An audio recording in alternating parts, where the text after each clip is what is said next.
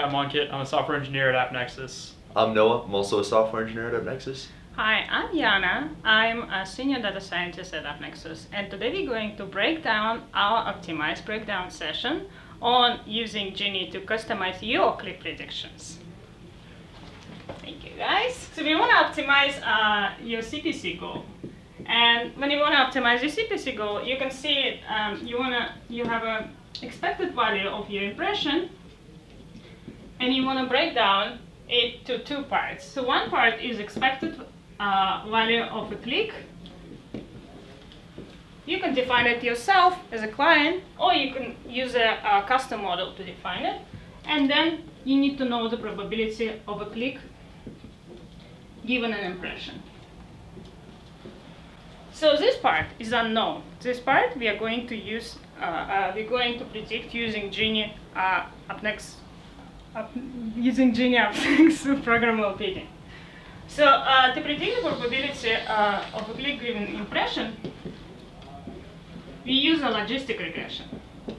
So logistic regression uses a, a vector set X when uh, we have a feature set of many features, and each X is representing, this could be 0, 1, or could be some probability, uh, historical CTR, it could be uh, uh, some some other transformation, the transform feature, and we use this uh, feature set for impression to describe an impression, and then we plug it in in a logistic uh, regression formula, which is uh, p.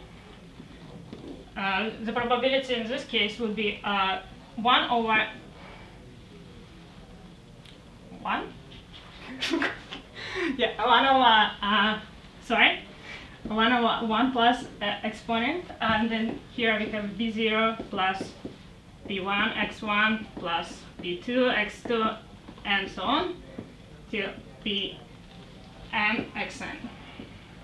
So here the x is the same guys as here from a feature set.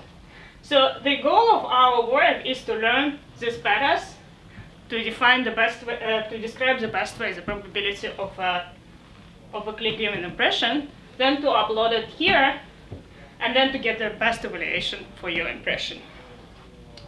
Uh, how we do this?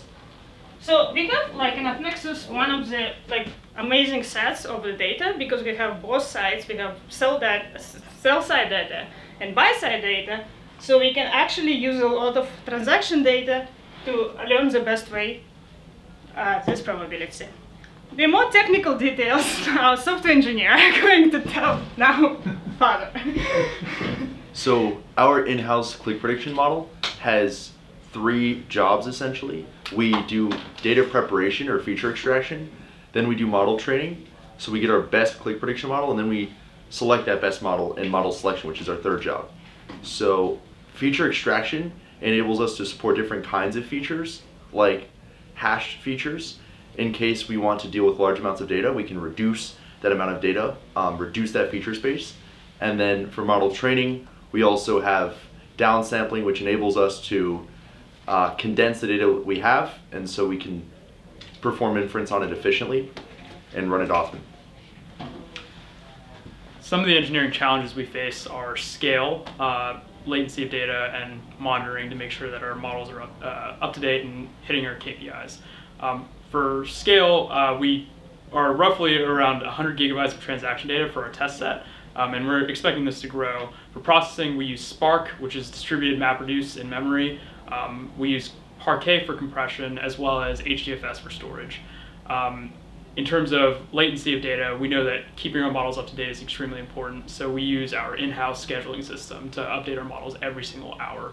Um, in addition, hitting our KPIs, we want to make sure that we're hitting our budget and our impression goals, um, all of which we have alerts set around. Thanks for listening. Hope to see you at the next Optimize.